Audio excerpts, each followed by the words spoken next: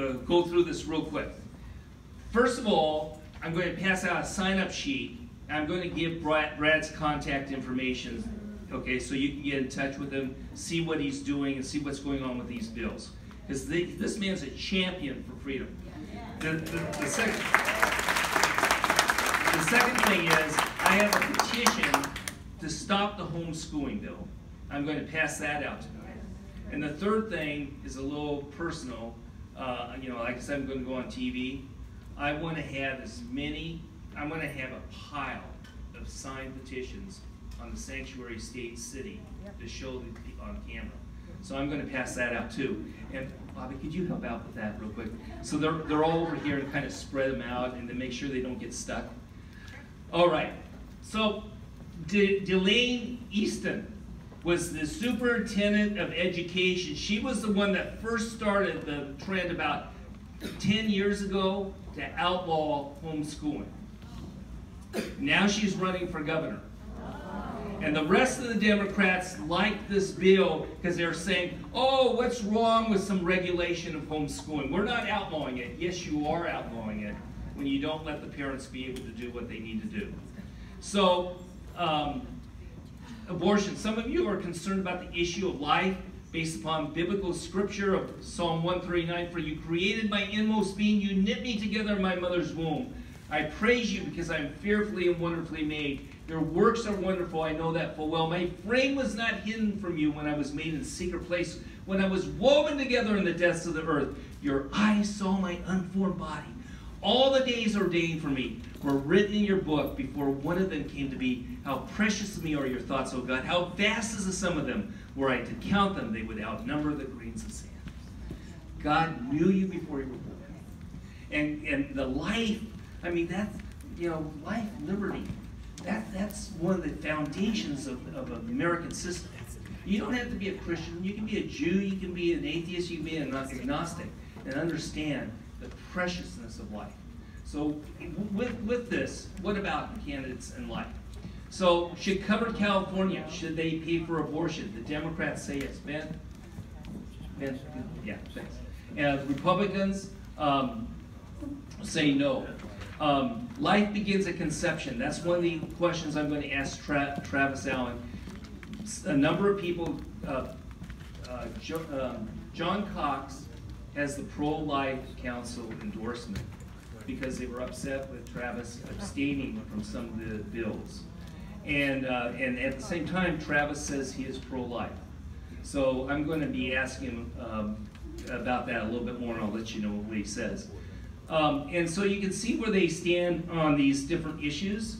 And of course, the issue of partial birth abortion, that, that's probably the most gruesome. That's where they'll take the baby out almost all the way, but then they'll suck the brain out. Because if they took the baby all the way out to kill it, that would be infanticide. And so when a baby is viable, and so the Democrats all believe in partial birth abortion, Travis Allen and John Cox do not. This is where they stand. I'll send this to you so you'll have this and you can take a look at it more closely. But this is where the candidates stand on the issues with total government control on the left and the free market, no government uh, on the right. You can see where they stand in relationship to some candidates you know. So on the, these ratings, we have different ratings for the candidates. Uh, from a conservative biblical worldview versus a liberal secular worldview. Uh, that's in your handout, so I'm not, we're not going to take up the time to go over that. You, uh, I'll point out a couple of things, though. I'll point out um, the worst candidate uh, from a conservative biblical worldview would be Delaine Eastin. And um, uh, the one that has uh, the uh, strongest biblical worldview um, would be um, John Cox with a 96.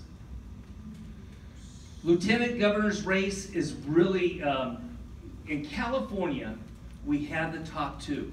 For the governor's race, we have the situation, it'll be the top two. It may not be two Republicans. You may have two Democrats. It's an unfair bill that was passed.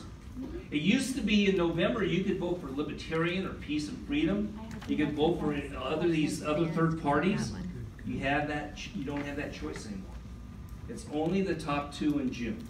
So a few areas, there could be two Republicans running against each other. A lot of areas, there'll be two Democrats running against each other. In the case of Lieutenant Governor, um, probably it will be two Democrats. Now, in the Republican primary, the most viable candidate is John Cox. He's second in the poll, and he has the most money. And so that's where you take a look at the polling and see what happens. In this case, uh, the candidate that, uh, that, um, the two candidates, Ed Hernandez has a conservative worldview of one. Elena, she has a three. David Hernandez is an evangelical Christian, he has ninety percent. Um, Alina has millions of dollars put into her by the California Medical Association and by her dad, who happens to be a doctor. Uh, and so that's where she has so much money uh, for this campaign. Um, so you can see who's endorsing whom. Uh, the Apartment Owners Association, David Hernandez, Emily's List, which is the abortion group, Elena. Uh, Ed Hernandez has, uh, has your friend, the, the California Teachers Association. I don't know. Ed Hernandez has the California Teachers Association. Yeah, yeah. Correct me if I'm wrong, about that one, I'm right. Um, and so you, you, you'll see in the handout, uh, how they stand on the issues. Um, Secretary of State, how many think there's voter fraud in California?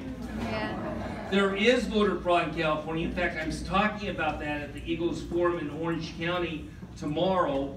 And I've been on TV uh, about the voters fraud. Uh, I have a, um, oh, is it, uh, it's tomorrow. Yeah.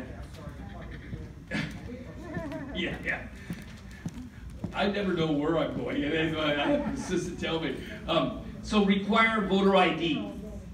Mark Mishner, the Republican, says yes. Alex Padilla, uh, he's the current incumbent, and he says no. He is, in fact, he refuses to investigate voter fraud. He, uh, uh, right now, and I'm going to show in my talk, basically the DMV. We have a million people who are illegal aliens who have a driver's license, a special one. Now, in that driver's license, if they wanted to, they could register. They have to check off a box that says, I'm a U.S. citizen. It used to be they didn't have to check off that box, but they had to change the law. So now they have to check off the box, I'm a U.S. citizen. But we estimate there's at least three to 400,000 illegal votes uh, in California on that. Uh, we need to be able uh, to uh, take back this office. And uh, this person is part of the deep state in the sense that he's protecting the establishment from any type of light in an investigation. This is probably one of the most important votes that you could have is in this race. The controllers, uh, you can see the handout, you can see the different issues for controllers. I'm just going to mention one thing about it. Um, we have cities and, and, and different things in California that's going to create a debt havoc. That they're overspent, they're in debt, uh, but Betty Yee, she refuses to have, want to have an audit of the city and county employee salaries. Uh, uh, Costas, he wants to. Um, treasurer's race, you can see um, aggressive uh, pension reform. Fiona Ma, she says no. Jack, he says yes. The contrast between these two are completely uh, opposite of each other. Now, this 20 million to Planned Parenthood, when it looked like Planned Parenthood was not going to be funded, a half a billion dollars of funding of your U.S. tax money goes to Planned Parenthood. The bill that was just passed for the budget continued that. But when it looked like it wasn't going to be in there, this is what Fiona did. She said, I'm going to have 20 million of California tax money make up for the loss, and your tax money here in California would go to Planned Parenthood. The Attorney General, you, these ballots, we're about ready to go over the ballots. These ballots are written by the Attorney General's office, which is filled with radical progressives who slant the copy and distort the issues on these propositions. When you think you're going to vote for yes, turns out to be no. When you think you're going to vote no, turns out to be yes. Right. So you can see the differences in these candidates. Now, this Steve Bailey happens to be an evangelical Christian conservative, and he's just the opposite. of he, he, he, Xavier, if I get that right, Xavier. Xavier is the one who has filed one lawsuit after another lawsuit after another lawsuit against the uh, legislation of the Trump administration. Insurance Commissioner is Steve Poizner. Uh, he had been the commissioner before. Uh, and uh, you can see on the top 10 family values, he's 80% uh, uh, uh, against those issues that are trying to, in other words, I, I should say, he's 80% against those things like taking away homeschooling. Or this other bill that we didn't talk about, which would have killed every Christian college in California. This is the superintendent of public education. Your handout has all these different issues. I want to point out the issue on these two. Tony Thurmond is a CTA supported candidate. They're giving him millions of dollars of support. And you can see on here with Marshall Tuck, he is an advocate of charter schools. And I've talked to him, I've, I, I, I know him, uh, I disagree with him on so many issues, but I, I want to point out a couple of things. When I asked him about uh, the issue of allowing religious songs at Christmas in public schools, he said yes. And when I asked him about um, uh, enacting, uh, you, you ever watch the local news and you see these teachers being arrested, predator teachers? It happens all the time. And then they're put into another school. Or they're kept on the salaries and they're basically in some room by themselves. And you can't get rid of them. Well, Tuck says you got to get rid of them. He also wants to see tenure reform. And, and on the transgender bathroom bill, Tuck, Tuck wants to get rid of it. Parental notification in case of abortion, he believes in that. And so uh, uh, on some of the issues, uh, uh I, I, I find them refreshing. The U.S. Senate race is one of those where it will probably almost assuredly be the top two Democrats. I'm going to be finishing my betting uh, uh, on the U.S. Senate candidates in the, who are Republicans. None of them at this point have money. None of them have any rating in the polling.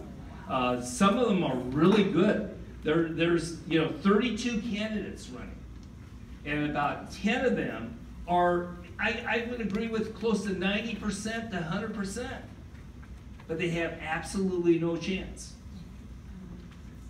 Abortion. Uh, you can see where they stand on abortion, but uh, the leading Democrats uh, are all for abortion. On religious liberty, the leading Democrats are all against religious liberty.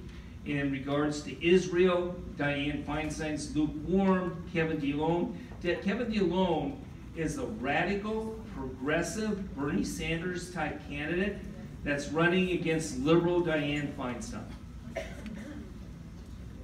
And you can see Dianne Feinstein has 42%, Kevin de León has 16, she has $22 million. 45th, so we're still doing our, our vetting on the 45th. Many of you are in that area. Mimi Walters is the congresswoman and many people are pretty proud of how well she's done and stood up while she's been in Congress. Uh, and you can see that she's uh, less government programs, 86%, or conservative uh, biblical worldview, she has a 90% rating. On the 48th district, here we have a, a, a high, highly contested race between Congressman Dana Rohrabacher and many other candidates. These are the ones with the most money. Uh, these our candidates have anywhere from 600,000 to 1.2 million to beat Dana Rohrabacher. Dana uh, has a conservative Christian worldview of 89%, the highest. He has a liberal secular worldview of 11%, the lowest. Uh, more government programs, uh, Dana has 8%, uh, which is uh, the, the lowest. And for less government programs, 92%. Um, he uh, is a free market guy. And interesting on this, I don't know if you know this, he was the one who, for the last four years, has fought Paul Ryan and those in Congress with his Save the Christians from Genocide Act. And he's been a warrior on TV and trying to save the Christians in the Middle East. Uh, Dana Rohrabaugh. But, but is he not also the founder of the Congressional Marijuana Caucus? He does uh, believe in that, yes. Next. Oh, there we go. So on Orange County Sheriff, I, I'm, I'm going to send you information on that. I still have to talk to him.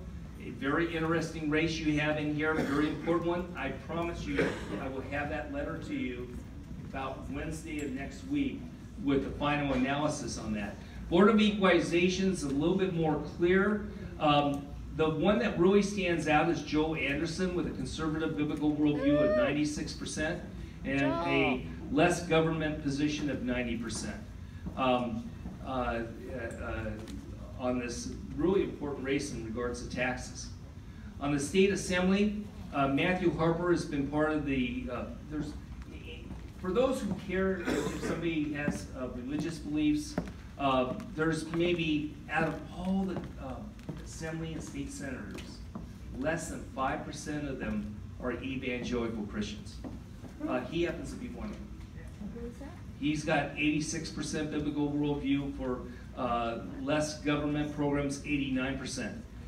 Now, if you really are, if you're, you're here tonight and you're a progressive and you want more government programs, you should go for Ryan Todd.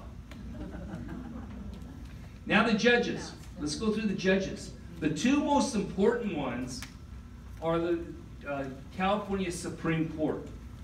Now, if you saw that original slide, there's very few strict constructions believe you don't legislate from the bench, you simply interpret the law. Carol gets a seven out of scale one to ten. She's more of a strict constructionist. And she has been one of the few judges that has stood up against the progressive judicial activists on the California Supreme Court.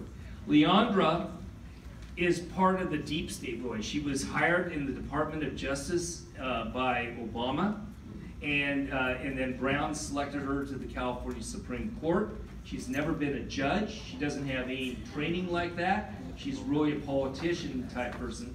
And she has a three. And what that means, when, when you have a one, two, three, or four, you're a progressive liberal that is a judicial activist. In regards to the uh, Court of Appeals, okay, you got the California Supreme Court, and the next one is you have the Court of Appeals. And, and uh, listen, so you know this, it gets a little confusing. For the California Supreme Court, for those two candidates, you're going to vote yes or you're going to vote no for each of them. They're not running against each other. You're just voting yes or you're voting no. And I have a, the only site in the United States that evaluates judges. It's called judgevoterguide.com. The same, same stuff on the other websites we have, but judgevoterguide.com. We're hoping to have a million Californians vote on that to transform this upcoming election. So the next level is also a yes or no. So you can see Cynthia has a five, which means she's a judicial activist. Judith Howard has an eight, she's a strict constructionist. Richard Hoffman, a nine, strict constructionist.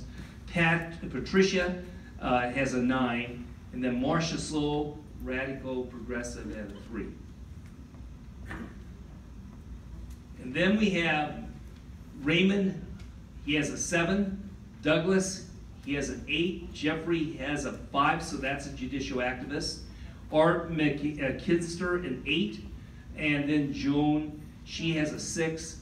Uh, I'm personally voting against her. She's more of a uh, judicial activist. And now you have the judicial election in Orange County. And these are the Superior Court. If you heard Brad, do you remember Brad said about the homeschooling?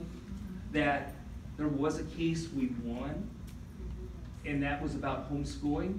Did you know about six years ago, a Superior Court judge said homeschooling was unconstitutional and illegal and banned it? And then it was appealed to a, to a panel, and that panel reversed it. But these Superior Court judges can be powerful, and you gotta vote for these. And, um, and, and so Theodore is a seven, and Franklin, uh, is, is a six, and that'll be on everybody's ballot in Orange County.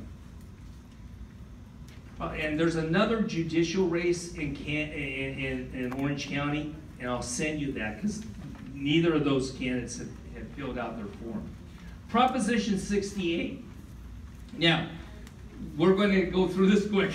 So, Proposition sixty-eight is a bond issue. Now, the bond issue is